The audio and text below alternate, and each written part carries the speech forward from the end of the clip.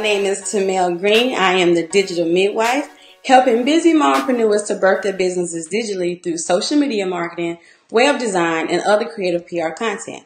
So tonight I wanted to jump on really quickly to give you this five minute tutorial on how to save, if you're saving your Facebook posts, to collections. You know, sometimes we save things on Facebook, but we forget where they are or we forget what we saved. So it's always a good idea to file your saves. So tonight I'm going to show you exactly how to do that. So just hang tight.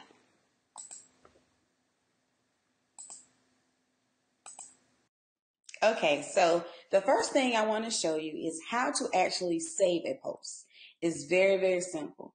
All you do is go to whatever the post is you would like to save whether it's your post or someone else's post, and you're going to see three dots. And this is on your mobile device as well as on the desktop version. All right. And once you click on that, you're going to get a couple of things. It says hide ad, report ad. This is an ad, by the way, because you see it says sponsored. If it's not an ad, you're not going to see the hide ad, report ad. Then you can actually save the video.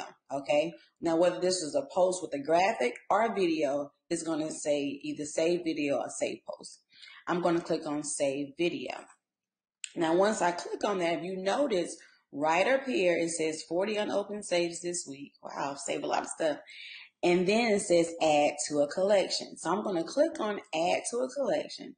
And I want to add this post. I'm just going to say workouts just for now just because it's the first thing that I saw. But if I wanted to, I could have, you know, searched for the ones that I have to put to actually file it somewhere, or I could actually create a um a collection. So let me show you that. I'm gonna show you how to create a, a collection. So let's go here. Go to another one.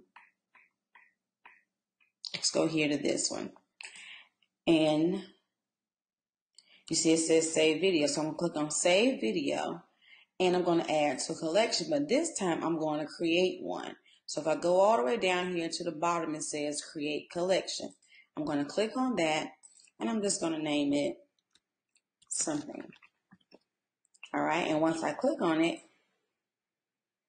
it says you've created a new collection. Your saved item has been added to your collection, something.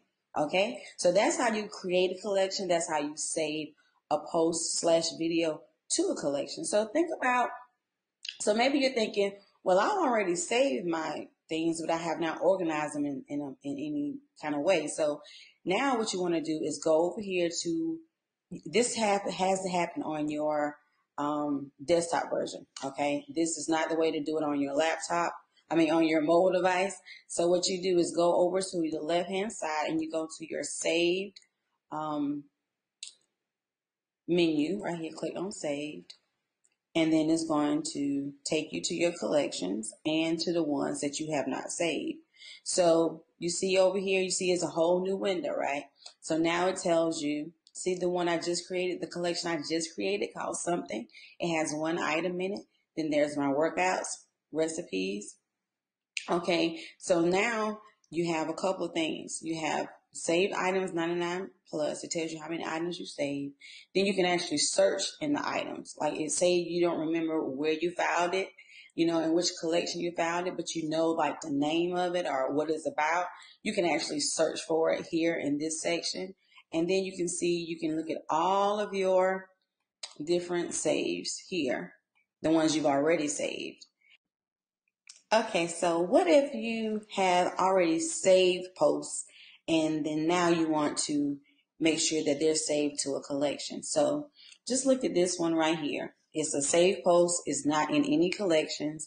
And the reason you know it's not in any collections because you see here, this one says video saved to workouts and this one says video incredible recipes. So it's not saved anywhere. So I'm going to actually add it to my recipes. You see, I'm just going to go here, find the, the collection that I want to add it to and just click there. And now it says save to recipes. So it's very simple to actually create a, to save a post and then create your collections right then and there. Or if you save the post and then you want to go back and actually, you know, add it to a collection. And, and then again, here you have the share option, add it to a collection, and then you can unsave it or remove it from where you've saved it. Say if you saved it to the wrong folder, wrong collection, then this is a good way to do that. To actually, you know, change it out and then add it to a new collection. So I hope that you have enjoyed this quick tutorial on how to add to collections. This is a very, very good tool to use just to organize your life on social media.